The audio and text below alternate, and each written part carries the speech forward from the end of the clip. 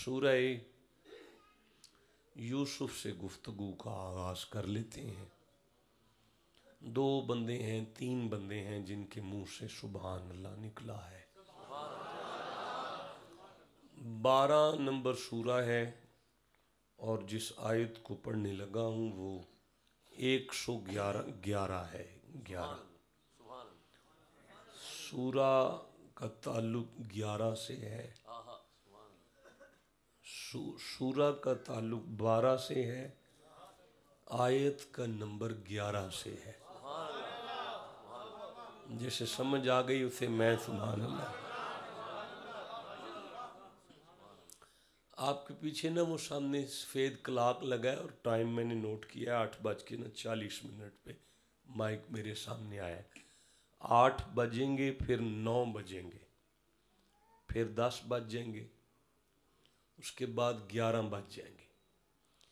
तो ग्यारह के बाद फिर बारह बजने वाले हैं। तो फिर तेरह नहीं बजते, फिर एक ही बजता है।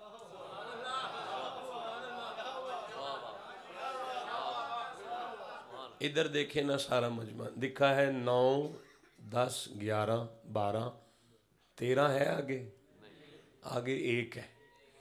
ये कलाक भी बता रहा है कि तुम ग्यारह के पास आ जाओ। हाय हाय हाय।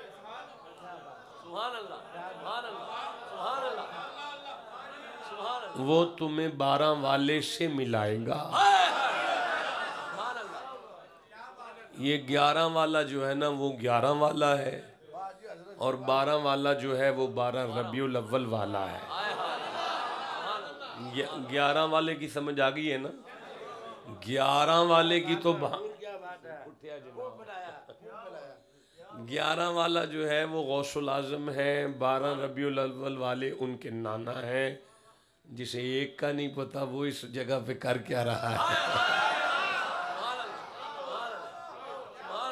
अब मुझे ये कलाक मैंने बनाया नहीं ना, लेकिन बनाया किसी गौस के बलंग ने है। जिसने बता दिया है कि ग्यारह के बाद बारह ही है और बारह के बाद एक ही है। तो मेरा ख्याल है, अब नहीं आपको भूलेगी कि तकरीर में आयत कौन सी थी? बारह और ग्यारह। सूरा बारह, आयत एक सौ ग्यारह। अब मैं पढ़नी शुरू कर दूँ? बिस्मिल्लाहिर्रहमानिर्रहीम, इरशाद रब्बुल हुआ। लक़द काना फ़ी कससहिम इब्रतुन उलिल अलबाब। मा काना हदीस युफ्तरा वलाकिन तस्दीक लजी बैन यदई व तफसीला कुल्ल शयम व व रहमतन कौमी युमिनून आयत पूरी हो गई है आप चुप बैठे हैं यहाँ अल्लाह ने इरशाद फरमाया लाम माना है शक ना करना ये नहीं कहा चुप ना करना, ये कहा है शक ना करना। माना है शक ना करना। आगे है कद, माना है कभी भी शक ना करना। आगे है काना फ़ी कस से हिम उनके जो किस्से हैं ना, उनके किस्से, उनकी बातें, वो जो उनके वाकयात हैं फजूल नहीं है, इब्रतुन सबक है उनमें। उनके किस्सों में सबक है, उनके वाकयात में सबक है, बोलना है आपने कुरान पाक के लिए। उनके वाकयात में उलिल अलबाब, अकल वालों के लिए उनके किस्सों में, उनके वाकयात में उनके ज़िक्र में सबक है। माँ काना हदीस संयुफ्तरा देखो अगर तुम उनकी महफिल में बैठो और उनका ज़िक्र सुनो तो उसे मन घड़त किससे नहीं कहना। वला किन तस्दीक अल्लादी बैन यदई ये उनके वाकयात ही तो हैं जो हमारे पूरे लिटरेचर की तस्दीक करते हैं। वह तफसील अकुल शईन और हमने बड़ा डिटेल से उनका बयान किया।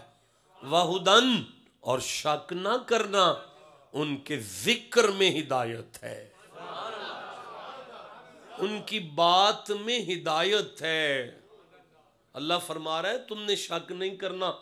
उनकी बात तो करके देखो, हिदायत मिलेगी। सबक मिलेगा उनकी बात में।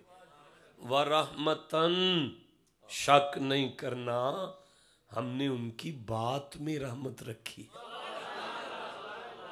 हाय हाय हाय हाय, मैं कैसे आगे चलूँ? अल्लाह करीम फरमा रहे शक नहीं करना, तुम मस्जिद में बैठो, घर में बैठो, चौक में बैठो, अपनी बीवी और बच्चियों और बच्चों को बिठा के उनका ज़िक्र करो। हम जमानत देते हैं इधर बात छिड़ेगी, उधर रहमत चलेगी। इधर बात छिड़ेगी, उधर रहमत चलेगी। नहीं, आपको समझ आ रही है बात की? नहीं अच्छा मैं आपसे ये पूछ सकता हूँ कि किन के ज़िक्र में ये सारा कुछ है?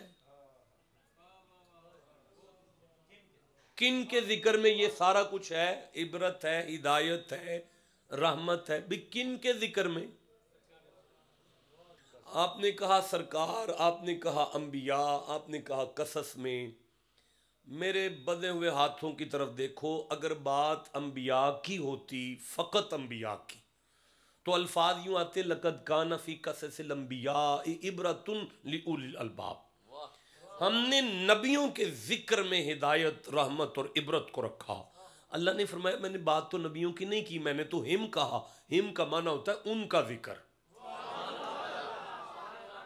नहीं, आप में से कोई शख्स ये कहता है कि शाह जी, आपने सूरह यूसुफ पढ़ी है, लिहाजा इसमें दो नबियों का ज़िक्र है। तो आप मान जाएँ कि यहाँ पे बात नबियों की है तो मैं कहूँगा, यहाँ हुमा नहीं आया।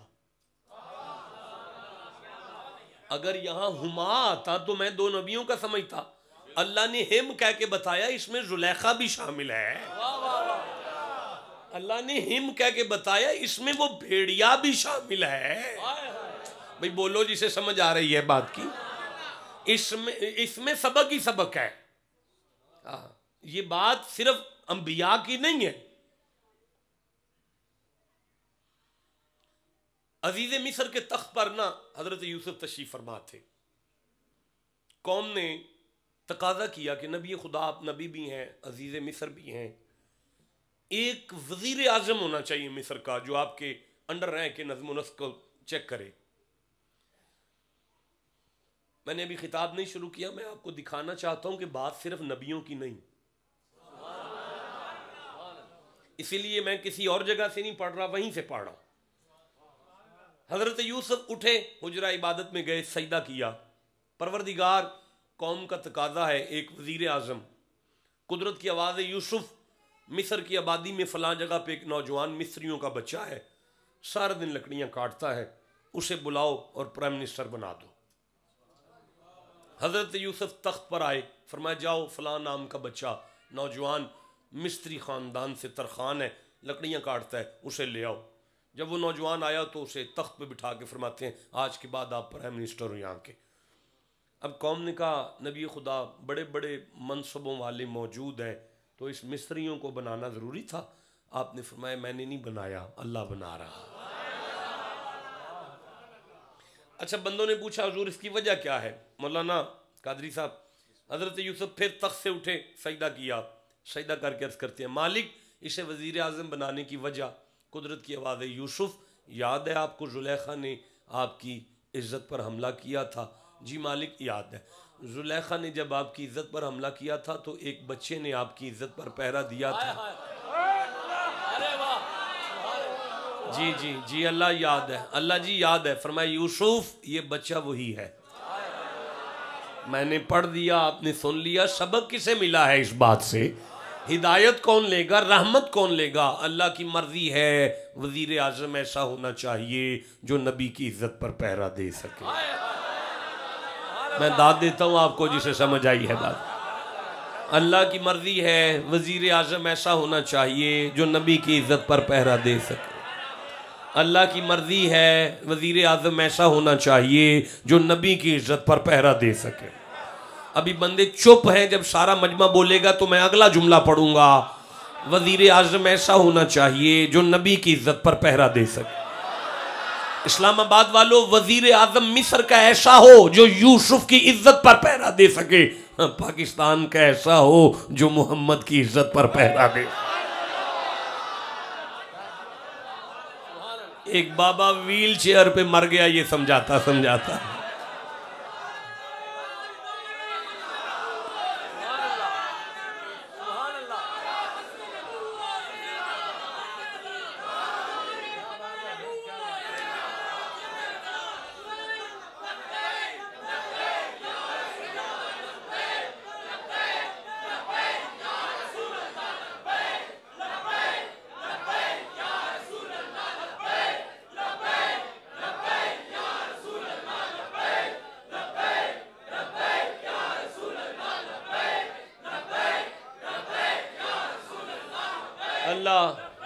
सलामतियाँ अता फरमाए। बरकत अता फरमाए। अल्लाह फरमाता है, शक नहीं करना, तुमने उनका ज़िक्र ही नहीं कभी किया। तुम उनका ज़िक्र करो तो सही, तुम उनका ज़िक्र तो छेड़ो। मैं कैसे आगे चलूँ यार? तुम उनका ज़िक्र तो छेड़ो। हिदायत की जमानत देता हूँ, सबक की जमानत देता हूँ, रहमत की जमानत देता हूँ। अच्छा अगर आप इजाज़त दें तो अल्लाह ही से पूछ लेते हैं, किन के ज़िक्र की बात कर रहा है? आप कहो तो मैं पढ़ूं। बिस्मिल्लाहिर्रहमानिर्रहीम, वज़कुर फिल किताबी इब्राहिमा, मोहम्मद जी कुरान में इब्राहिम का ज़िक्र करें, वज़कुर फिल किताबी इस्माइला, मोहम्मद जी कुरान में इस्माइल का ज़िक्र करें, वज़कुर फिल किताबी मूसा, मोहम्मद जी कुरान में मूसा का ज़िक्र करें, वज़कुर फिल किताबी इदरीस, मैं कुरान पढ़ रहा हूँ, आप चुप बैठे हुए हैं यार। अच्छा मौलाना हजूर, आप, अल्लाह करे आपकी जो अगली किताब है, वो भी छप के आ जाए। मेरा गुजर हो अब आज के बाद तो मैं तो सलाम करूँगा आके। मैं आपसे पूछूँ सरकार, वो कहाँ तक पहुँचा है आपकी किताब का मसला? आप फरमाए, शाह जी मुसवदा यहाँ तक पहुँच गया है। मैं आपसे अर्ज़ करूँगा, इस किताब में ये भी ज़िक्र कर लें, ये भी ज़िक्र कर लें, ये भी ज़िक्र कर लें, ये भी ज़िक्र कर लें। इसलिए कि मुझे पता है, किताब के मालिक आप हैं। मैं तो कह ही सकता हूँ ना, ये भी ज़िक्र कर लें। मुझे बताएँ कि कुरान तो अल्लाह की किताब है, मोहम्मद से क्यों कहता है वाजकुरफिल किताब इब्राहिम? अल्लाह फरमाता है, जमाने वालों हुसैन के नाना का इख्तियार दिखा रहा जिसे समझ आइए वो चुप कैसे बैठा हुआ है यार? अच्छा तो याला फिर क्या समझे? फरमाया, अंबिया के ज़िक्र में हिदायत, रहमत और हिदायत और सबक और रहमत है, ताकि जमाने को समझ आ जाए। यार, जो मुक्तदी बन के मुस्तफ़ा के पीछे खड़े हो, अगर उनकी बात में रहमत है तो मोहम्मद के ज़िक्र में कितनी रहमत? जिसे समझ आई है, वो सीने का ज़ोर लगा के सुबह अल्लाह। अल्लाह, वही, उसी सूरा में अल्लाह मत वादकुर फिल किताबी मरियम मरियम का ज़िक्र करो, मरियम का ज़िक्र करो, मरियम का ज़िक्र करो, मरियम का ज़िक्र करो, मरियम का ज़िक्र करो, मरियम का ज़िक्र करो, मरियम का ज़िक्र करो। भाई करो ना मरियम का ज़िक्र। अल्लाह क्या होगा? फरमाया, रहमत होगी, ताकि जमाने को अकल आ जाए। अगर मरियम का ज़िक्र रहमत है तो मोहम्मद की बेटी का ज़िक्र कितनी बड़ी रहमत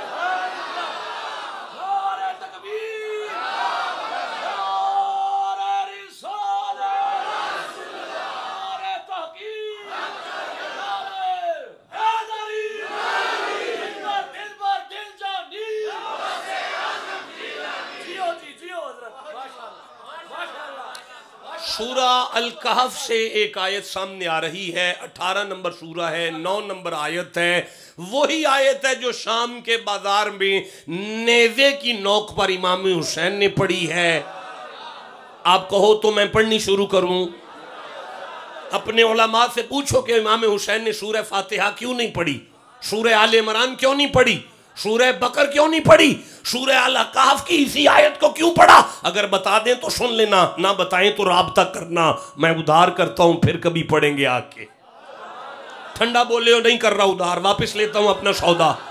नहीं नहीं, तुम्हारे वाला सौदा नहीं है, मैं कहीं और जाके उधार करूँगा।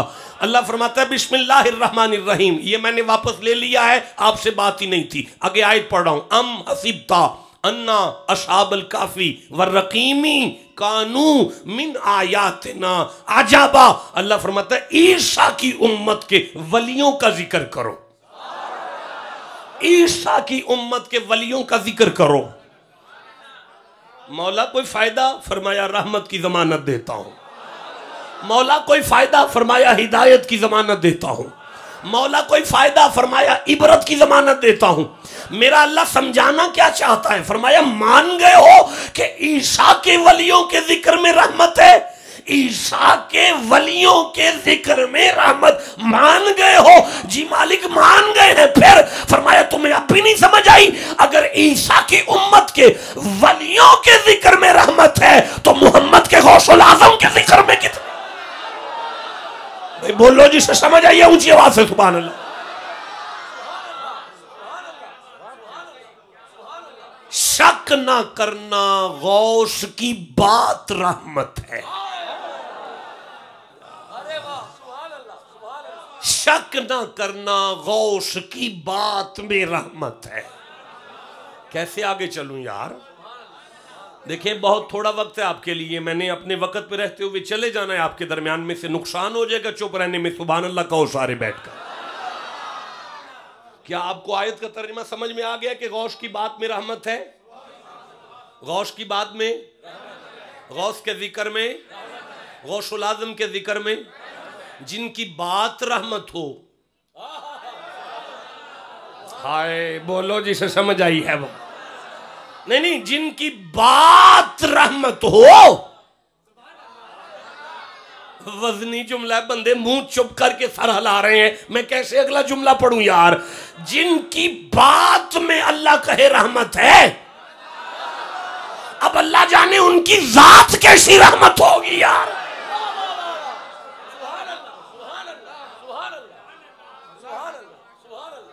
हज़रत गौसुल आज़म की बात में रहमत है? अल्लाह कहता है शक नहीं करना, तुम तो मेरे घर आ गए हो। तुम उठकर अपने घर जाके गौश का ज़िक्र करो, फिर भी रहमत होगी। हिदायत होगी। हाँ रहमत रहमत होगी। क्या होगा? आवाज़ नहीं आई। किसमें? हज़रत गौस पाक की बात अल्लाह की रहमत है। बात अल्लाह की? वो क्या होता है? अच्छा यहाँ भी पंजाबी में खिताब करना है।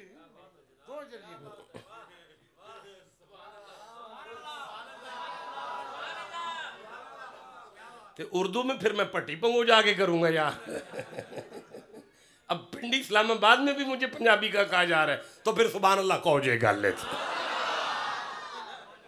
हजूर गौश पाक की बात में हजूर गौश पाक की गल च रहमत है।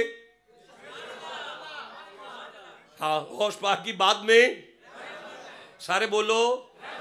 अल्लाह की कसम जो रहमत कह रहा है ना हाँ, उसके चालीस गुना माफ़ हो गए। उसके चालीस दर्जे बुलंद हो गए मंजा बिल हसन अतिफाला हो अशरम सालेहा। अल्लाह की बारगाह में वो चालीस दर्जे बुलंद हो गया है और चालीस मकामात उसके अफजलियत की तरफ़ जा चुके हैं और चालीस गुना माफ़ हो गए हैं और चाली नेकियाँ मिल गई हैं कहो गौस की बात में। वो क्या है? वो क्या होता है? वो होता क्या है? मैं बात करूँ अपनी बीवी को बिठाकर, अपनी बेटियों, बच्चों को बिठा के गौश पाक का ज़िक्र छेड़ लूँ। अल्लाह कहते रहमत आएगी। क्या होगा वो? क्या होगा? वो क्या है? मैं पूछ रहा हूँ कि वो रहमत क्या है? फजल क्या है? मुझे बताएँ ना। क्या होगा? रोटी आएगी? दाल आएगी? क्या आएगा? है? कुरान से पूछें। बात उसकी है, उसी से पूछ लें। नहीं बोल रहे, नहीं पूछते, कहीं और जाके पूछ लें। किबला अभी सूर्य अलकाफ की जो आयत पड़ी है, उससे अगली आयत में फरमाता है, फ़कालू असाबिक कहब बोले रब्बा ना आती न मिल्लदुन का रहमतन। ए पालने वाले, हमें अपनी बारगाह में से रहमत अता फरमा। अब वो रहमत क्या होता है? वह लना मिन अमरना राशादा। ए पालने वाले मुश्किल आसान कर दे। पता चला रहमत का माना होता है मुश्किल कुशाई। अब समझ आ गई, अल्लाह ने फरमाया, शक ना करना, गौश का नाम मुश्किल कुशा है। आए, बोलो जिसे समझ आई है बात। शक ना करना गौस की बात मुश्किल कुशाई है। नहीं, मैं नहीं आगे चल सकता। मैंने कुरान का तर्जमा कुरान से इस्लामाबाद पिंडी की धरती पे वीडियो कैमरे के सामने करके बता दिया कि मोहम्मद के गौसल आज़म का नाम मुश्किल कुशा है। नाम, बात, ज़िक्र। अब मैं पढ़ सकता हूँ मिंबर पर कि वो माई आई थी, उसने आके कहा था, मेरा डूब गया जी। जिसे आइए समझ वो चुप कैसे बैठा हुआ है? मेरा डुब गया जे। आपने फरमाया, कदों का यारह साल पहले। फरमाया कड लेना। का कल्ला नहीं डुबा, सने जंज डुबा जे। फरमाया, सारी जंज ना कटा ना मेरी बात मुश्किल कुशा, ना बात मुश्किल कुशा। जिसे समझ आई है, वो ठंडा बोलते हो यार। जिसे जितनी समझ आई है, सीने का लगा के सुबह अल्लाह का। मुझे बताओ जिनकी बात मुश्किल कुशा है, वो ग्यारह साल अंदर डुबा ना कटे तो क्या करेगा यार?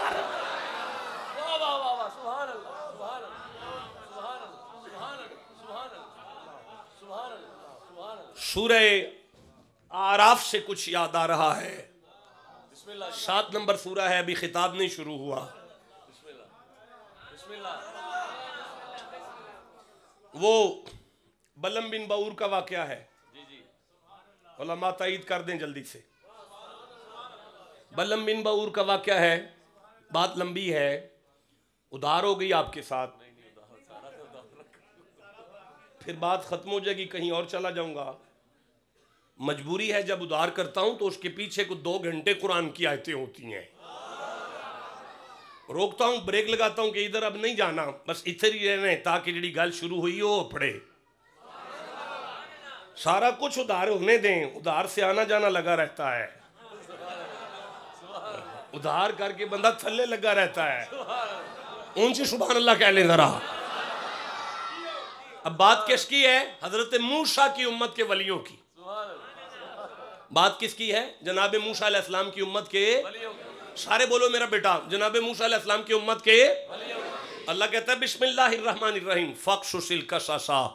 मोहम्मद जी कर दो बात। मौला किसकी बात करूँ? फिर मैं मूसा नबी की उम्मत के जो वली अमाल का बादशाह के साथ जंग करने मूसा के लिए गए थे जरा उनका किस्सा बयान कर दो। फरमाया मेरा अल्लाह मकसद क्या है? फरमाया अल्लाह मोहम्मद जी फ़िक्र बदल जाएगी अंदर बदल जाएगा। मूसा की उम्मत के वलियों के ज़िक्र से अंदर बदले। कैसे मैं आगे पढ़ू मूसा के उम्मत के वलियों के ज़िक्र से। बंदे का अंदर बदले अंदर। अंदर बदले। जब अंदर बदल जाए तो इन अल्लाह कौमिन मा भी अनफुसहिम।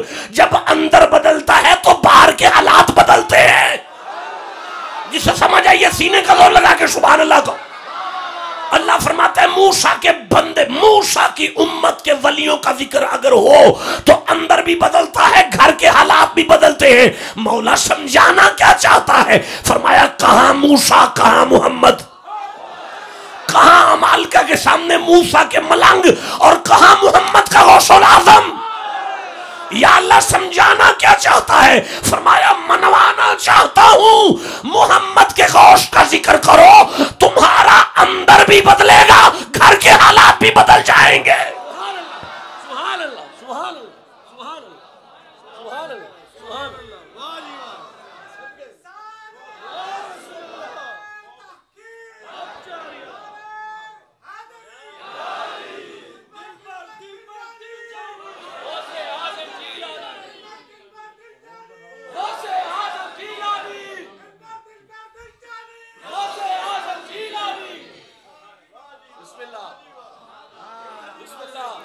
आपको समझ आ रही है?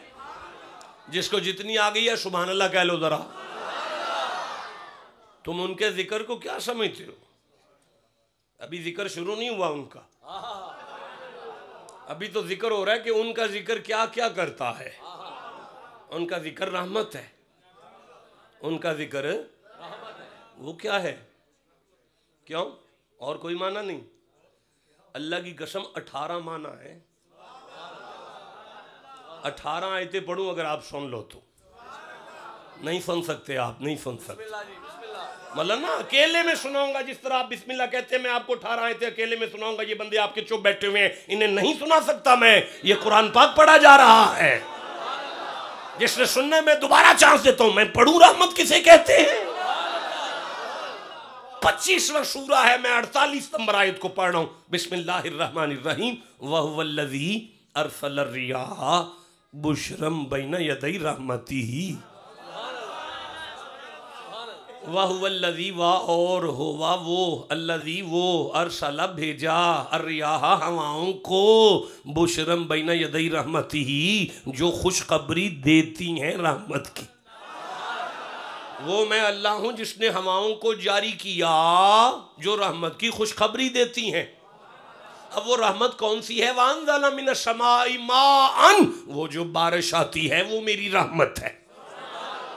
अब वो रहमत करती क्या है? फिर मैं माँ अंतहूरा उसका काम है, वो पाक करती है। पाक करती है। पता चला, रहमत का माना होता है पाक करना। रहमत का माना होता है पाक करना। अल्लाह कहते शक ना करना। गौसुल आज़म का ज़िक्र पाक कर जाता है। ठंडा बोले हो दुख लगा, मुझे मैं कैसे आगे पढ़ूँगा गौसुल आज़म का ज़िक्र पाक करता है, ज़िक्र पाक करता है।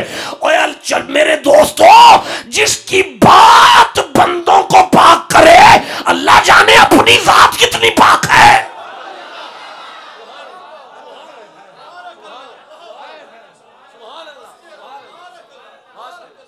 आपको समझ आ रही है? शदाई नहीं है, गौश का ज़िक्र लेके बैठते हैं। हाँ आपका यहाँ पे एक जेल में एक पता नहीं बेहयास है, वो कहता है, बाबों का ज़िक्र करते हो।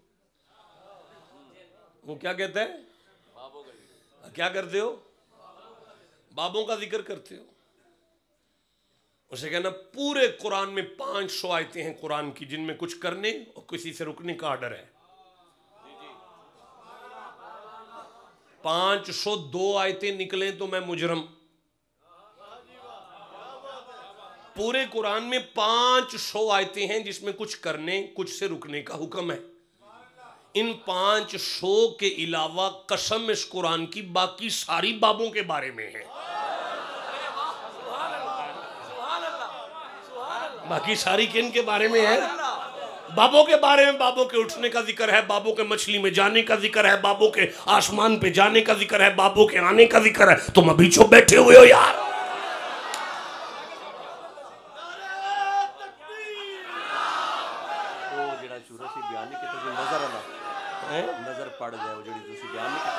अच्छा देखूँगा, अब चलने तो दें। गए।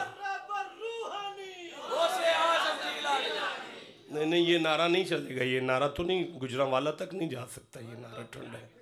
दोबारा नारा लगाएँ, देखिए आगे चलना है कि नहीं चलना।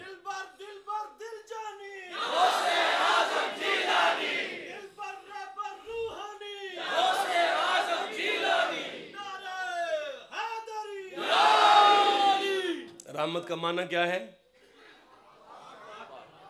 पाक करने वाला। रहमत का माना क्या है?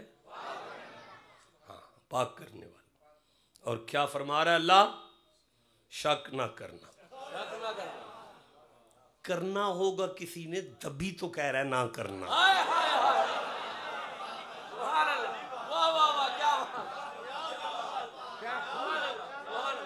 अब ये लाम जायदा तो नहीं है ना? आप कह दें कि कद जायदा आया था। जायदा नहीं है, किसी मकसद के लिए आया है। और वो मकसद ये है कि शक ना करना, तुम्हें ना भी समझ आए, फिर भी ना करना, ये मोहम्मद का बेटा है, इसकी बात भी बंदों को पाक करती। गौसल आज़म उसे कहते हैं, जो सुनने वालों को पाक कर दे। गौसल आज़म उसे कहते हैं, जो सुनने वालों को पाक कर दे। गौसल आज़म उसे कहते हैं जो सुनने वालों को पाक कर दे। ये सामीन को पाक करता है, लेकिन जब अल्लाह का इरादा हुआ ना, आलमीन को पाक करने का तो फरमाया, वमा का इल्ला रहमत आलमीन। मैंने मोहम्मद को भेज दिया, जिसकी नालैन से आलमीन को पाक कर दिया है।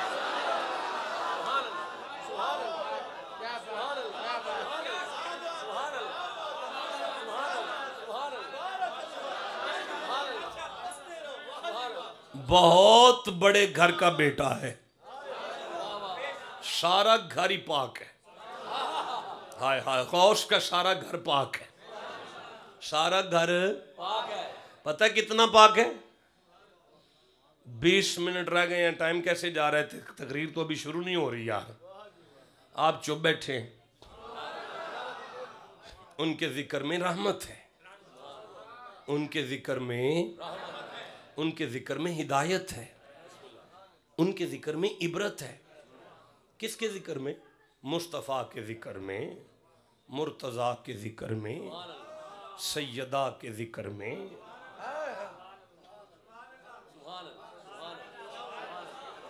अन्ना असहाबल कहफ असहाब कहफ के ज़िक्र में मौला ये असहाब कहफ का ज़िक्र भी रहमत है। फरमाया हाँ ना। मौला, इसकी वजह क्या है? फरमाया, तू नहीं समझा? असाब कहफ का ज़िक्र रहमत है तो असाब मोहम्मद की क्या शान है? मैं बोलो बोलो, जिसे समझ आ गई है। असाब ये ना बाइक चलाइएगा।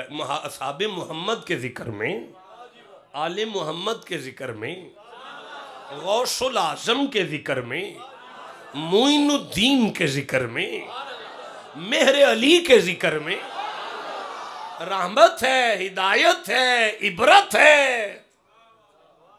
अच्छा मुझे जरा समझ नहीं आ रही, मैं कम पढ़ा लिखा आदमी हूँ, जरा मुझे समझा दें कि रहमत हो गौश के ज़िक्र में ये मुझे समझ आ गई, क्योंकि आलमीन की रहमत के घर का एक फर्द है। अच्छा हिदायत हो उनके ज़िक्र में, इसलिए कि बहुत बड़े हादी हैं इतने बड़े हादी हैं। इतने बड़े हादी हैं। पहली दफ़ा घर से कदम बाहर निकाला तो चोरों का सारा काफिला हिदायत पर आ गया। जिसे समझ आ गई, उसे मैं सुबह अल्लाह कहता हूँ। इतने बड़े हादी हैं कि जिनका पहला कदम घर से निकले तो वो चोरों को कुतब कर दे। आपको समझ आ रही है? जिसे जितनी आ गई, उतना सुबह अल्लाह कहो। लो, यहाँ तक मुझे भी समझ आ गई आपके साथ कि हजूर गौश पाक के ज़िक्र में हिदायत है और रहमत है।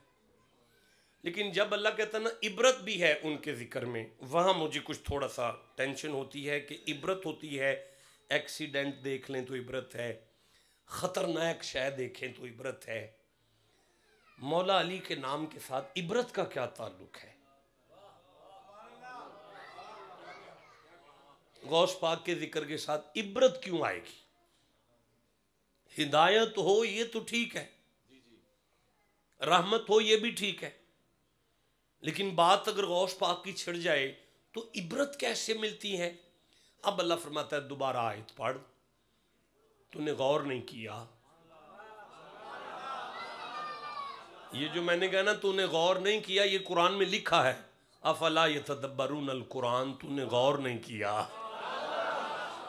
या अल्लाह, किस बात पे गौर करूँ? फरमाया, दोबारा आयत पढ़। लकद का नफी कसम इबरतुन लिउलिल अलबाब लिउलिल अलबाब। माकाना हदीस युफ्तरा वाला किन तस्दीक अल्लज़ी बैन यदई व तफसील कुल्ल शैइन व हुदम व रहमतन लिकौमी युमिनून। मी युमिनून। मी युमिनून। युमिनून। अल्लाह कहता है, आयत आयत है, कुरान कुरान है, गौश गौश है, ज़िक्र ज़िक्र है, बात बात है, लेकिन जब भी उनका ज़िक्र छिड़ेगा सामईन में बंदे दो तरह के आएँगे। एक उली अलबाब आएँगे, एक योम नून आएँगे। एक उली अलबाब का माना होता है अकल के मरीज़। योम नून का माना होता है इश्क में गिरफ़्तार। भाई बोलो जी से समझ आ रही है बात? की अल्लाह कहता है, जो उन्हें सोचने आएगा, वो उन्हीं के ज़िक्र से इबरत लेकर जाएगा। जो मोहब्बत उनकी लेकर आएगा, उसे हिदायत भी मिलेगी, रहमत भी मिलेगी। नहीं, मुझे नहीं मज़ा आया, नहीं नहीं, मुझे नहीं मज़ा आया। मैं फिर अर्ज़ करना चाहता हूँ, या अल्लाह, उनके नाम के साथ इबरत का क्या ताल्लुक है? अल्लाह फरमाता है, तू नहीं जानता, जब भी उनकी बात छिड़ेगी, साथ उसका भी ज़िक्र होगा। उनकी छिड़ेगी तो साथ उसका भी होगा। उनकी छिड़ेगी तो साथ उसका भी होगा। नहीं नहीं, मैं कैसे अगला जुमला पढ़ू? उनकी छिड़ेगी, साथ उसका भी होगा। ज़िक्र कर लो आदम का, साथ इबलीस का भी छिड़ेगा। ज़िक्र कर लो मूसा का, साथ फिरौन का भी छिड़ेगा। ज़िक्र कर लो इब्राहिम का, साथ नमरूद का भी छिड़ेगा। ज़िक्र करो मोहम्मद का, साथ अबू जहल का भी छिड़ेगा। ज़िक्र करो हुसैन का, साथ यजीद का भी छिड़ेगा। ज़िक्र करो मोइनुद्दीन का, साथ पृथ्वीराज का भी छिड़ेगा। ज़िक्र करो मुजद्दद आज़म का, साथ अकबर का भी छिड़ेगा। ज़िक्र करो गौसुल आज़म का साथ बगदाद के चोरों का भी छिड़ेगा मिलेगा अल्लाह फरमाता है तू अब भी नहीं समझा उधर से इबरतें मिलती जाएँगी, इधर से हिदायतें और रहमत के चश्मे फूटते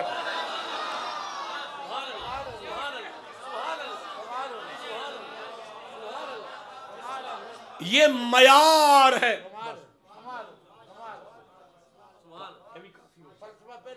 सुबह अल्लाह कहो बैठकर। ये ज़िक्र है गौसुल आज़म का। ये ज़िक्र किसका है? तो इसमें क्या है? हिदायत है। इसमें रहमत है। इसमें पाकिजगी है।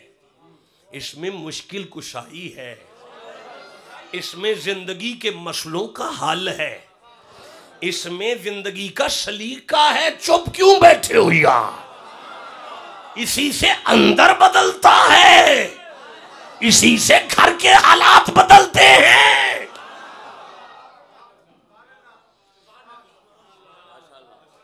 तुम उनकी ज़िक्र छेड़ो तो सही। तुम उनका तस्करा करो तो सही। कोई पुराना सा किस्सा छेड़ लो। एक पुराना किस्सा छेड़ लें। चंद बंदों ने सुबहानला कह दिया एक, एक शख्स ने मिसमें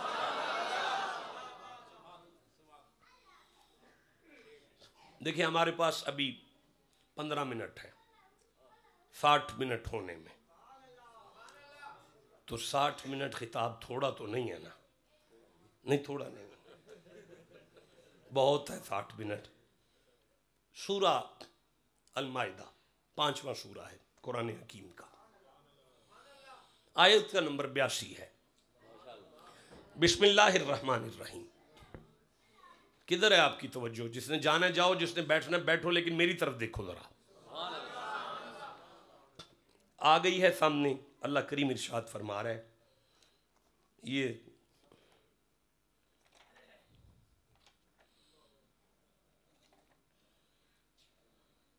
हो गया। शफकत फरमाए, मुझे ना, मैं परेशान हो जाता हूँ कि जब कुरान पाक में तवज्जो ना हो तो। ला ताजीदन्ना अशदन्नास यादावतन लजीना आमनुल यहूदा वल्लजीना अशरकू वल ताजिदन्ना अकरबहुम मवद्दतन लजीना आमनुल्लजीना कालू इन्ना नसारा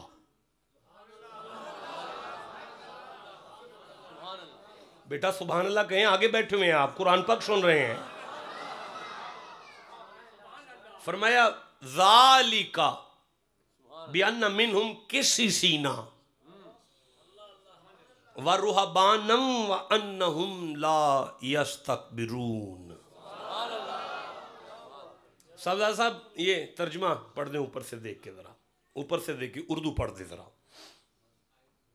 ये सामने तिरासी नंबर आयत, ये आखिरी आयत है इसी सफ़े पे। आ गई सामने, मैं फिर पढ़ देता हूँ। ला ताजिदन्ना शद्दन्नास अदावतन लिल्लज़ीना आमनुल यहूदा वल्लज़ीना अशरकू वाला तजिदन्ना अकरब मवदतन लदीना कालू आमनदीना कालू इना नसारा जाली का बियन्ना मिन हम किसी सीना व रुहबानम व अन्ना हम ला यस्तकबिरून शुबान और मैं हाफिज नहीं हूँ यार, मैं तो अंदाज़ा लगा रहा हूँ। जनाब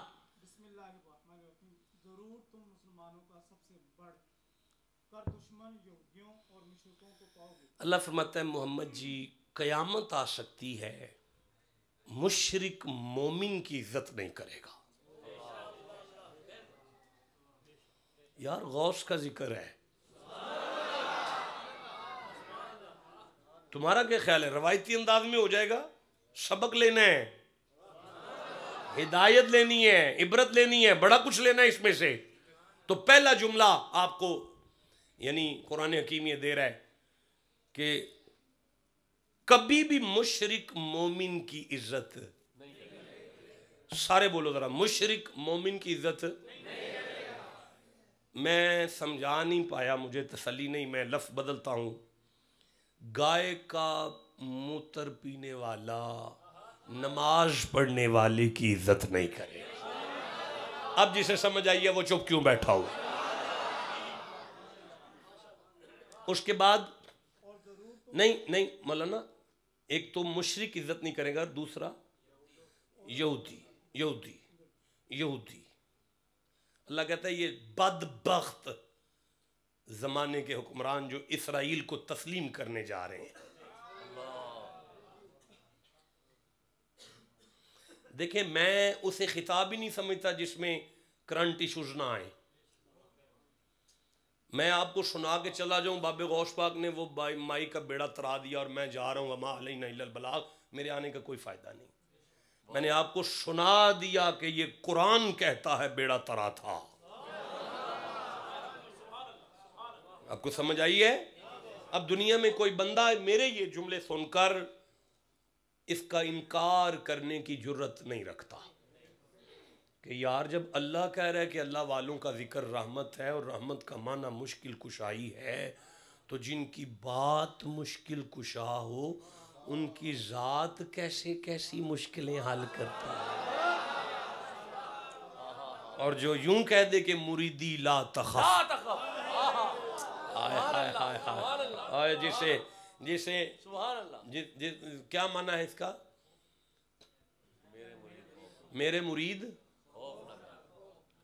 काश आपको मुरीद की समझ आए। गौस पाक ने अल्लाह की कसम कादरियों से नहीं करा। कहा खैर तो परेशान ना है कादरियों से नहीं कहा। फरमाया मुरीदी मुरीदी। मुरीदी का मन होता है ओए जिसे भी मेरा नाम सुन के ठंड पड़े ना। आए बोलो जिसे समझ आई है बात। और जिसे भी हम मुरीद कादरियों की बात है क्या बात, बात है? कादरियों की नहीं है।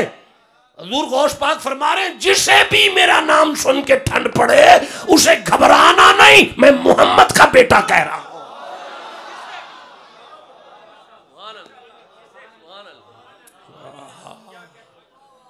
जिसे समझ आई है वो चुप क्यों बैठा हुआ है? अच्छा तो क्या कुरान पा कह रहे हैं? मुशरिक मोमिन की इज़्ज़त और यहूदी मोमिन की इज़्ज़त। अच्छा आगे जी किबला। और ज़रूर तुम मुसलमानों की दोस्ती में सबसे ज़्यादा करीब इनको पाओगे। जो कहते थे हम नसारा अच्छा वाला अकरबहुम मवद्दतन। क्या लफ्ज है? मवद्दत। क्या लफ्ज है? आयत का पस मंजर क्या है? हिजरत अबशा। पास मंजर क्या है? हिजरत अबशा। मुसलमानों की पहली हिजरत।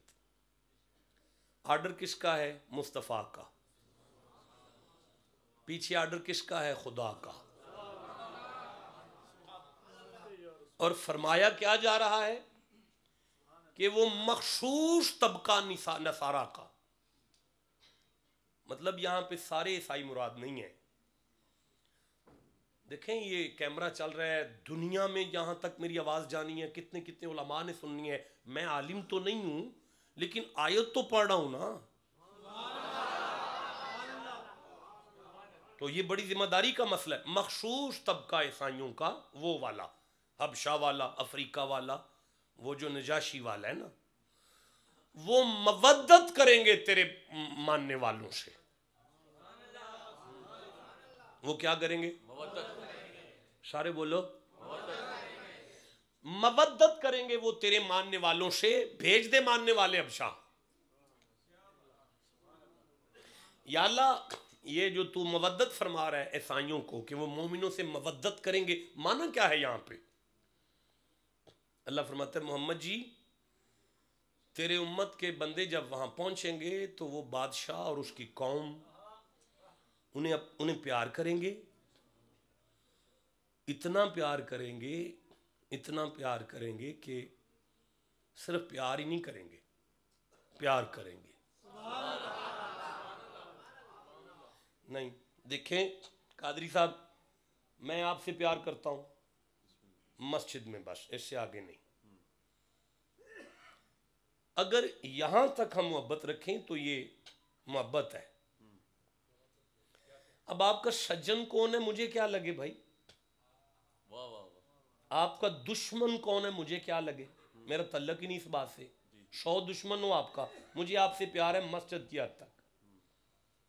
कसम इस कुरान की अगर मैं ये ऐलान करूँ ना मुझे सदाकत कादरी से इस तरह मोहब्बत है कि उसका दोस्त मेरा दोस्त है उसका दुश्मन मेरा दुश्मन है। ये है कुरान की मवद्दत। ये है कुरान की मवद्दत। यानी अल्लाह ने कहा, बंदे हबशा बेज वो तेरी उम्मत के साथ इस तरह प्यार करेंगे कि तेरी उम्मत के दोस्तों को दोस्त रखेंगे, तेरी उम्मत के दुश्मनों को दुश्मन रखेंगे, इसे मवद्दत कहते हैं। चलो, ये तो समझ आई कि मवद्दत किसे कहते हैं। किसी से मवद्दत करनी हो तो उसके दोस्तों को दोस्त रखो उसके दुश्मनों को दुश्मन रखो। अगर यहाँ तक पहुँच गए हो तो अब उस आयत पर चलो। कुर्बा। अल्लाह फरमाया, मोहम्मद, ऐलान कर। मेरी औलाद से मवद्दत करो। यानी गौश के दुश्मनों को दुश्मन समझो। गौश के वफादारों से प्यार करो। जिसे समझ आई है, वो चुप कैसे बैठा हुआ है।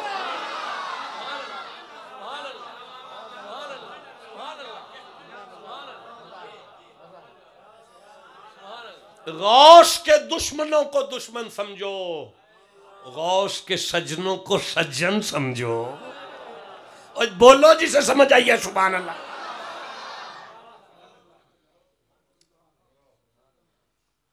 अगर मैंने मिंबर पे बैठ के ये अर्ज़ कर दिया है कि कोरबा में गौश है तो गलत नहीं कहा। चलो मैं इस आयत से आपके साथ उदार करता हूँ, मैं इंशाल्लाह इस आयत पे बकायदा खिताब करूँगा ना।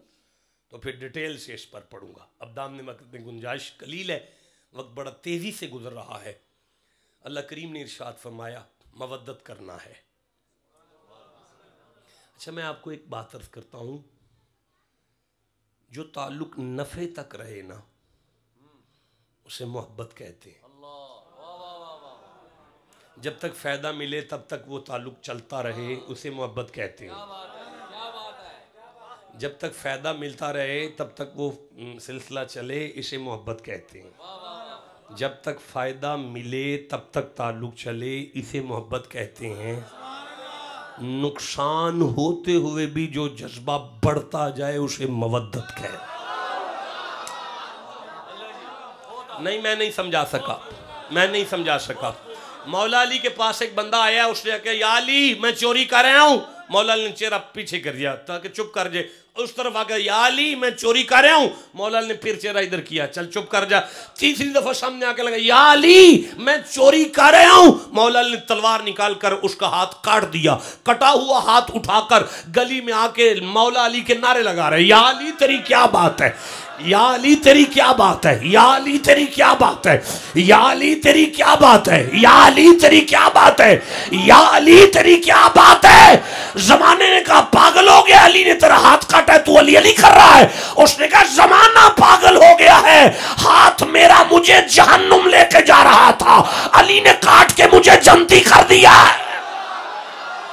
मौला अली को पता लगा, फरमाया, हाथ वापस लेकर आ वापस लेकर आया, हाथ पकड़ा, बाजू से लगाया, उसे जोड़ कर कहा, जा, चला जा। उसने कहा, या अली ये क्या है? फरमाया, काटना शरीयत का हुक्म था, जोड़ना मवद्दत की जगह है।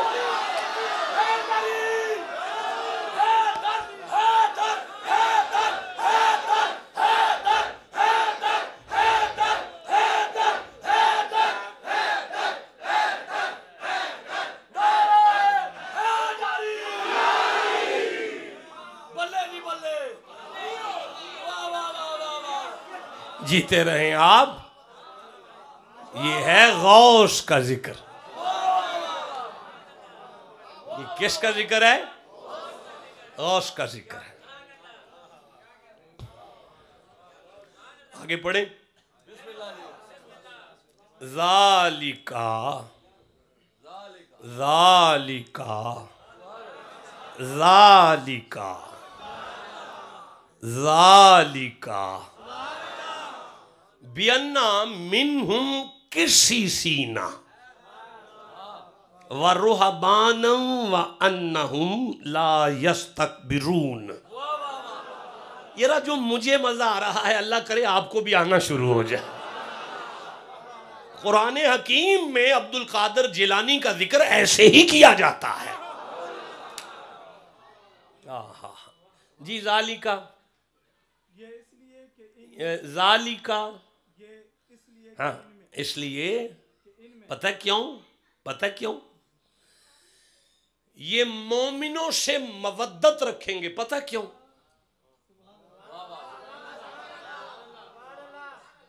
ये ना नबी की उम्मत से मवद्दत करेंगे। पता जी क्यों? या अलग क्यों? इसलिए ये नबी की उम्मत से इसलिए प्यार करेंगे पता जी क्यों? इसलिए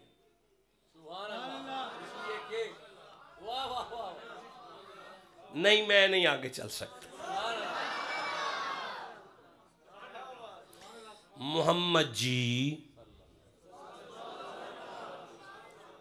हबशा का नजाशी और उसकी कौम, तेरी उम्मत का दर्द रखते हैं दिल में। पता है क्यों? इसलिए इसलिए आलिम और दरवेश आलिम है और दरवेश है।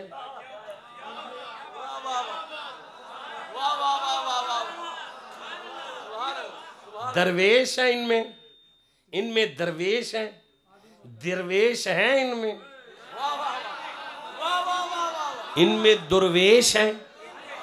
इनमें दुर्वेश है। मुझे नहीं पता आपको सबक मिला कि नहीं मिला। आपको हिदायत मिली कि नहीं मिली।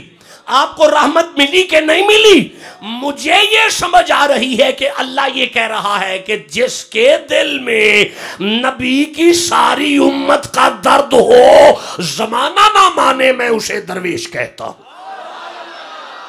हाय हाय, जिसके दिल में नबी की नबी की नबी की उम्मत का दर्द हो, नबी की उम्मत का दर्द हो दर्द हो दर्द हो जिसके दिल में।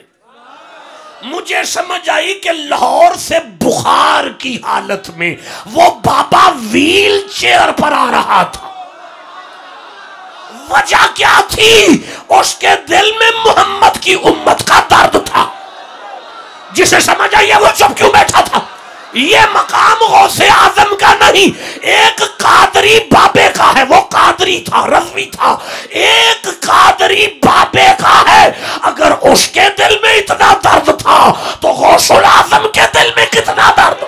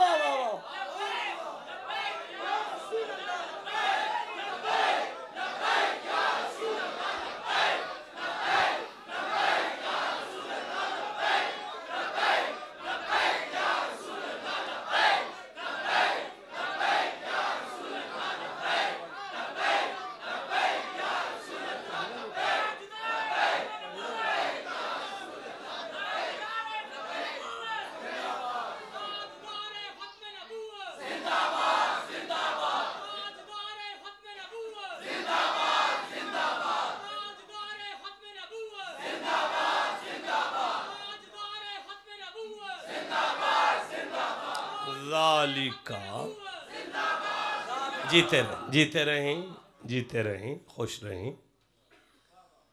चालीस से चली हुई सुई चालीस पर आ गई। साठ मिनट हो गए। कुरान पे गौर करते हुए, गौश को समझते हुए।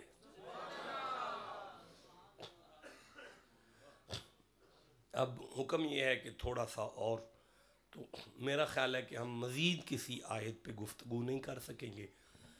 वरना मैं इस मनहज पर तकरीबन, इस मनहज पर, जिस पे अब मैं शुरू हुआ हूँ, तकरीबन सात आठ आयतें में। जहन नशीन करके बैठा हूँ कि ये सात आठ आयतें अगर पढ़ दी जाएँ, जलजले से पहाड़ हिल सकते हैं। कादरियों के अकीदे नहीं हिल सकते। तो चलो वो अब इंशाल्लाह फिर सही।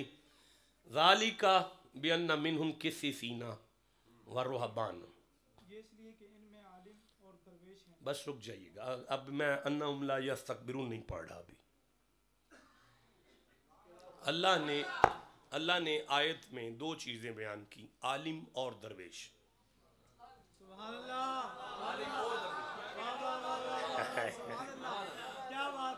पढ़ा लिखा बाशऊर मजमा आपकी क्या बात है? शब्बीर आलिम और दरवेश। डॉक्टर और दर्जी। दर्जी तो डॉक्टर नहीं, डॉक्टर दर्जी नहीं। आलिम और दरवेश। आए, जिसे समझ आई है, वो चुप कैसे बैठा होगा अल्लाह ने आलिम को साइड पे रख के ना, दरवेश को अलग रखा। और रख के बताया, जमाने वालों, सारे मौलवियों को दरवेश ना समझ लेना। जिसे समझ आई है, चुप कैसे बैठा होगा आ, सारे जुब्बे वाले दस्तार वाले, सारे पग वाले, सारे दाराबा, यादरिबू पड़े हुए दरवेश नहीं होंगे।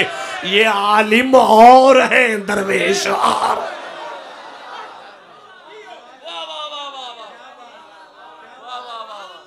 अरे यार, तुम कहीं सारे बंदे कुरान खोलने वालों को दरवेश ही समझ लो। सारे दरवेश नहीं है। ओए होए यारा, मैं कैसे समझाऊं आपको? नहीं, मुझे नहीं समझाना आया मैं।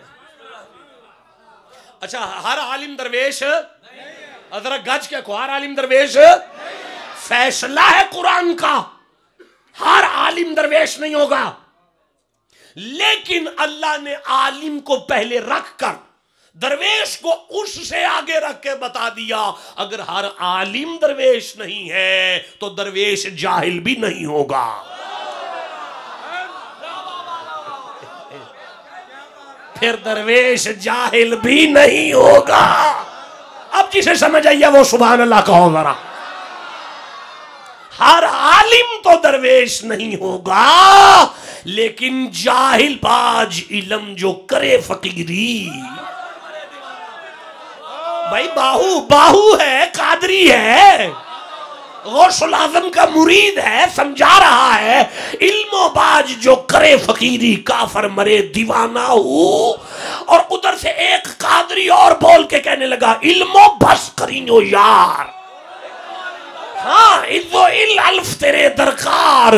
हाँ जे कर इल्म जे कर दीन इलम विच हुंदा। दोनों कादरियों ने बिठा के समझा दिया, जमाने वालों दरवेश नहीं होता, लेकिन हर दरवेश आलिम ज़रूर हो जिसे समझ आइए जो बैठा हुआ है यार।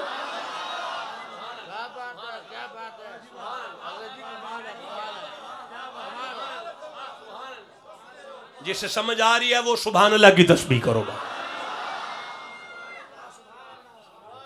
दरवेश के लिए आलिम होना ज़रूरी है।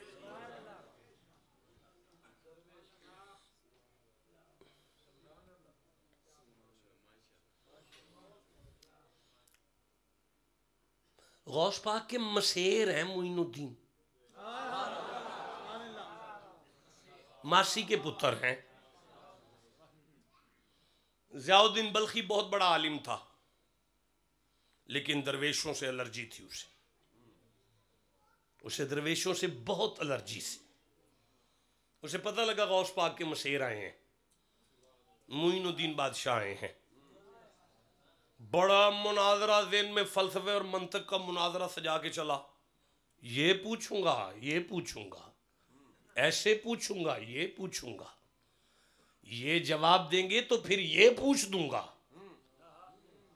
सारा मुनाजरा दिमाग में लेकर मोइनुद्दीन बादशाह की बारगाह पर आया। लंगर खा रहे थे अजमेर के महाराज। अजमेर के महाराज लंगर खा रहे थे। इसने आके देखा, लंगर करें आपने हमें मौलाना आ जाएँ आ जाएँ, मौलाना आ जाएँ, आ जाए। किबला आ जाएँ, एक लुकमा तो खाएँ। सैयद फकीर के हाथ से एक लुकमा मुँह में गया, अपने बाप का नाम भी भूल चुका था। यूँ देख रहा है, कौन हूँ मैं, मेरा अब्बा कौन है, मैं कहाँ से आया हूँ, मेरा पीछा क्या है, ये कौन है, मैं किधर आया हूँ? जब इस मकाम पर जा पहुँचा, मुस्कुरा के मोइनुद्दीन खाते हैं, कहते हैं, एक लुकमा और खा। जब एक लुकमा खाया तो तबीयत हशाश बशाश हुई। जब वापिस अपने वजूद में आया, मोइनुद्दीन कहते हैं, मौलाना, काफ़ी है कि मुनाजरा शुरू कर लिया जाए। जिसे समझ आइया ऊँची आवाज़ से सुबह अल्लाह को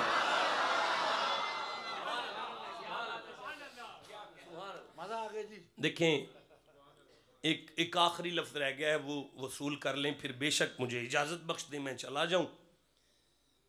जाली का बियन्ना मिनहुम किस सीना वरुहबानम व अन्नहुम ला यस्तक बिरून एक आवाज़ से सुबह अल्लाह का सादा साहब। ये इसलिए कि इनमें आलिम और दरवेश हैं। आलिम है और दरवेश है। और ये गरूर नहीं करते। ठीक है। तकरीर ख़त्म हो गई है। लिखा है दरवेश हैं जो गरूर नहीं करते। हाय हाय हाय जिसे समझ आए उसे मैं कहता हूँ सुबह अल्लाह। जिसे नहीं समझ आई, मैं फिर कह देता हूँ, अल्लाह फरमा रहा है, मोहम्मद जी, जो दरवेश हो, उसमें तकबर नहीं होता। बस जिसे समझ आ गई है, मैं उसके लिए दाद भी देता हूँ, दुआ भी देता हूँ। लेकिन मुझे मोल नहीं वसूल हुआ इस जुमले का, मैं फिर एक दफ़ा कह देता हूँ, अल्लाह ने फरमाया, मोहम्मद जी, जो दरवेश हो, उसमें तकबर नहीं होता। नहीं नहीं, देखें, किबला, मौलाना छोटे साहब साहब अच्छा कर लें, आप कर लें, फिर मैं उतनी देर तक निकाल लेता हूँ। एक दफ़ा सुबह अल्लाह कह लेता हाँ। यहाँ से कुछ ले लें और फिर बेशक मुझे इजाज़त दें, क्योंकि इसे समझने के लिए भी पाँच छः आयतें तो पढ़नी पड़ेंगी ना जी।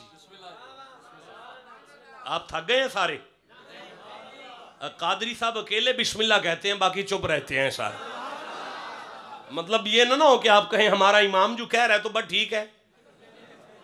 हमने इमाम के पीछे नीत के थोड़ी पढ़ना है। यहाँ पढ़ ले सुबह अल्लाह कह ले जरा। हो गया आपका? जिस बिस्मिल्लाहिर्रहमानिर्रहीम। अयुकुम यातीनी भी अर्शिहा।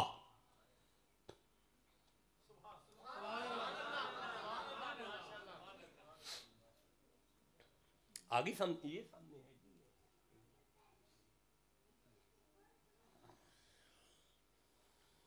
काला या अय्युल आप उर्दू पढ़ देना। सुलेमान ने फरमाया हज़रत सुलेमान ने फरमाया ओ मेरे गुलामों मेरे उम्मत के वलियों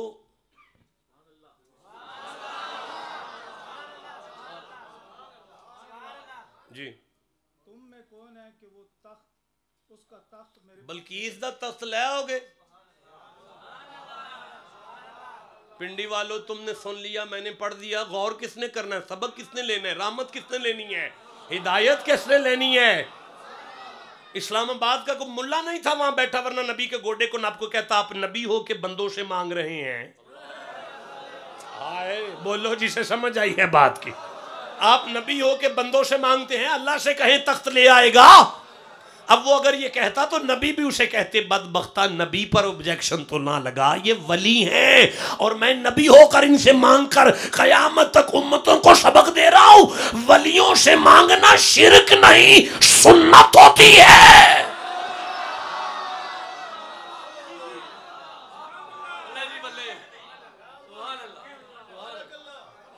समझ आ रही है?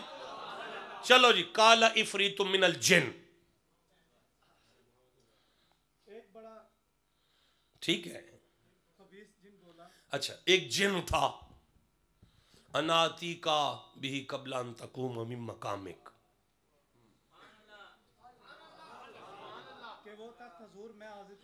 यूँ हाथ जोड़े उसने। मैं ले आऊँगा जी। सलेमान ने देखकर कहा कितनी देर लगेगी? इसके कि हजूर इजलास में बर्खास्त करें। तीन घंटे का टाइम दें जी। आपका दरबार तीन घंटे है। तीन घंटे में तख्त आ जाएगा। सलेमान बिन दाऊद ने उसे देखकर कहा, यार, वो गेट पे आ गई है, बाहर खड़ी है। उसने कदम उठाना है तो अंदर आ जाना है।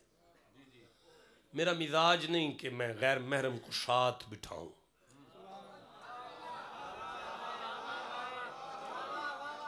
नबुव्वत के शान के खिलाफ है कि एक मलका को जलील करके सामने खड़ा कर दिया जाए। चाहता हूँ कि उसकी इज़्ज़त भी बहाल रहे पर्दे का भी इंतज़ाम हो जाए उसको उसी के तख्त पे बिठा दिया जाए। इन्नी अलही लकवीन अमीन।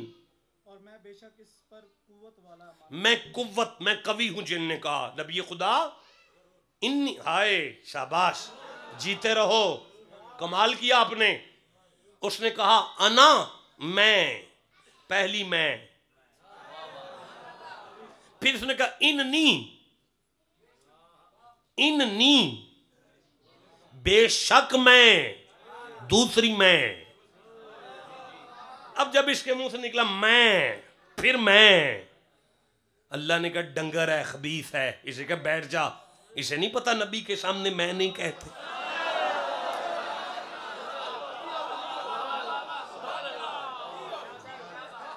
नबी के सामने मैं नहीं कहते इसे। ये मैं मैं कर रहा है? इसे नहीं पता मैं मैं तो बकरी भी करे तो छुरी के नीचे आती है। चुप कैसे बैठे हो? मैं कैसे आगे चलूँगा यार? अल्लाह को मैं नहीं पसंद। वाह जी वाह। अल्लाह को मैं नहीं पसंद जिसमें मैं ना रहे वली होता है। जिसमें मैं ना रहे, वही गौश का गद्दी नशीन होता है। वो गौश का फैज याब होता है, जिसे समझ आ रही है घर जाके सुबह अल्लाह कह लेना यार।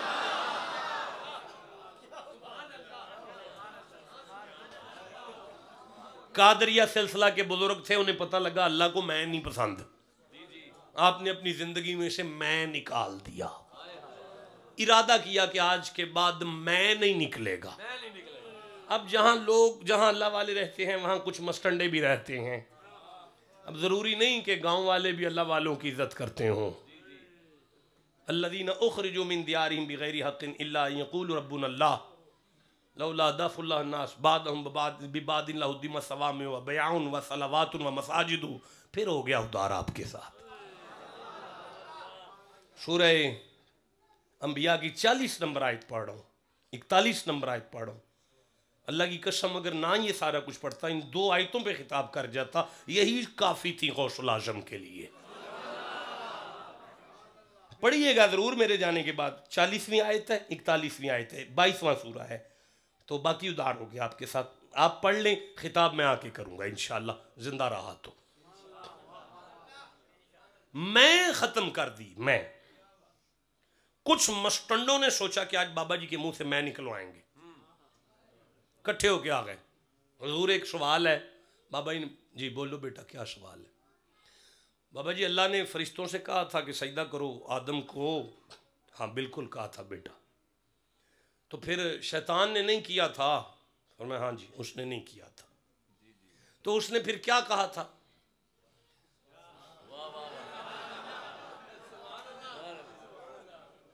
अब उनका ख्याल ये था कि बुज़ुर्ग कहेंगे कि शैतान ने कहा था, मैं आदम से बेहतर हूँ। तो जब ये मैं कहेंगे, हम एक दूसरे को होज मार के मैं आख देता है ना? मैं अखवाना से अखवा ले उसका चेहरा देख के फरमाते हैं, पुत्र टाइम क्या है? उसने कहा, जी, असर का वक्त है। फिर मैं, नमाज़ पढ़ो, फिर बात कर लेते हैं। जमात खड़ी होगी, बाबा जी ने जमात कराई। जलाम, जमात कराने के बाद सलाम फेर के कहते हैं और कितने भाई जी ने सवाल किया सी? आंदा, जी, मैं वहाँ, आपने, मैं वो भी यही आंदा सी। जिसे समझ आ रही है, बात करो मेरे से। जिसमें मैं ना हो, वो वली है। चूँकि जिन ने दो दफ़ा कह दिया, मैं मैं, अल्लाह ने मैं खबीज है, बिठा दो। दोबारा पूछो, कोई है? जब कहा कोई है आवाज़ काल अल्लदी इंदहु इल्म मिनल किताब। मार्फत रखता था किताब की। इल्म रखता था वो किताब में से कुछ थोड़ा सा। खड़ा हुआ नबी के सामने, हाथ जोड़ कर कहने लगा अना आप कहेंगे शाहजी इसमें भी मैं आया है। नहीं आया मैं। आगे पढ़ो। अना अती का भी ही कबला अयर तद्दा इलई का तरफूक। साहबजा साहब तर्जमा दें इसने अर्ज़ की जिसके पास किताब का इल्म था कि उसे हजूर मैं हाजिर कर, कर दूँगा एक पल मारने से पहले नहीं अयर तद्दा इलैक। लजपालो अब मैं मैं करता हूँ, मैं नलायक आदमी करता है। लजपालो आप यूँ देखें।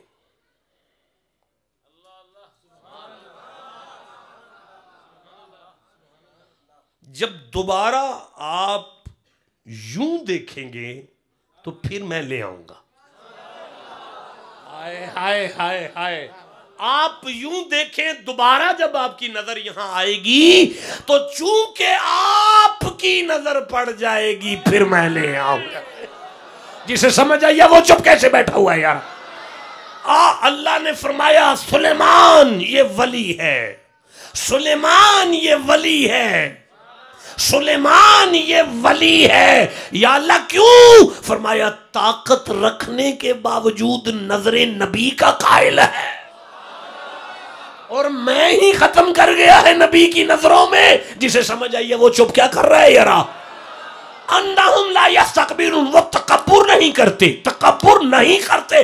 आँख में आँख डाल मेरी। मुसल्ले पर गौसुल आज़म खड़े हैं और इबलीस आवाज़ दे के कह रहा है, गौश, मैं राज़ी हो गया, मैं राज़ी हो गया, मैं राज़ी हो गया, मैं राज़ी हो गया। मैं राज़ी हो गया गौश अब तुझे इबादत की ज़रूरत नहीं है और। गौसुल आज़म ने लाहौल पड़ा इबलीस फट गया। जब फटा तो दोबारा आया। गौसुल आज़म, तूने कैसे पहचाना? कहा, ये तो बात नबियों से नहीं हुई, मुझसे कैसे हो गई? अब उसने फ़ौरन कहा, तू अपने इलम से बचा, तू अपने इलम से बचा, तू अपने इलम से बचा। गौश ने दोबारा लाहौल पढ़ा। लाहौल, वो फट गया। गौस अब ये क्या है? फरमाया, तू मुझे मेरा इल्म गिलवा रहा है। मैं मेरी वजह से नहीं। ओए होए, मैं मेरी वजह से नहीं, मेरे इल्म से नहीं, मैं तो अल्लाह के फजल से बचा हूँ। अल्लाह फरमाया, जमाने वालों, ये है अब्दुल कादर जिसमें मैं नहीं है।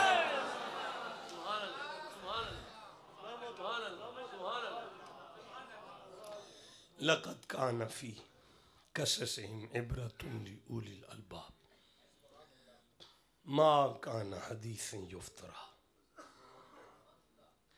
आपकी उम्मीदों पर तो खैर मैं पूरा नहीं उतर सका जो आप चाहते थे वो तो खैर मैं नहीं पढ़ पाया लेकिन एक घंटा और बीस मिनट गुजर गए हम कुरान पाक की रोशनी में कोशिश कर रहे थे कि हसब इस्तात इल्म और बाफैज़ान गौसुल आज़म देख सकें कि कुरान की रोशनी में मकाम गौसुल आज़म क्या है। हम इस बात पर पहुँचे हैं कि उनके ज़िक्र से हिदायत मिलती है, सबक मिलता है, रहमत मिलती है, पाकिजगी मिलती है, मुश्किलों में आसानी होती है, ज़िंदगियों का सलीका मिलता है, इंसान का बातिल बदलता है, बातिन बातिन बदलता है, इंसान का ज़ाहिर बदलता है। और इंसान में से तकबर ख़त्म होता है और इंसान के दिल में मुस्तफ़ा की उम्मत का दर्द पैदा होता है। इंसान को इल्म से मोहब्बत हो जाती है। ये है सारा फैज़ गौसुल आज़म का। दास्तान हुसन बिखरे तो लामहदूद है, सिमटे तो मेरा शेख है, वमा अली।